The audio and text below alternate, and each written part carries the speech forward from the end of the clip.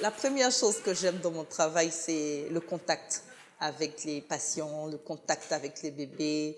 Ça, hum, c'est très intéressant de voir une femme arriver dans un état difficile et le lendemain de voir un sourire sur, sur son visage.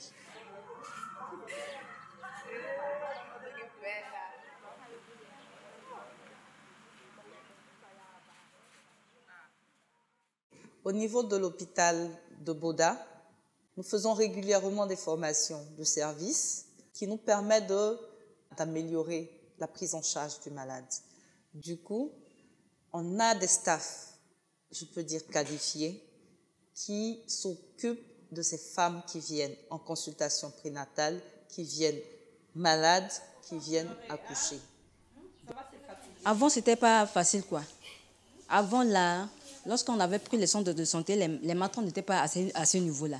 Mais maintenant, avec les formations qu'on a fait chaque jour, avec les accompagnements, elles sont maintenant autonomes de travailler.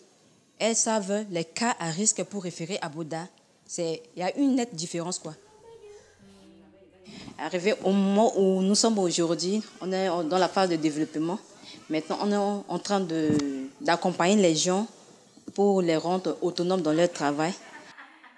Et c'est ça le rôle. C'est ça le rôle, un peu l'appui qu'Alima donne. C'est que si un jour Alima n'est pas là, on est le staff. Et le staff sait ce qu'il fait, il sait pourquoi il le fait.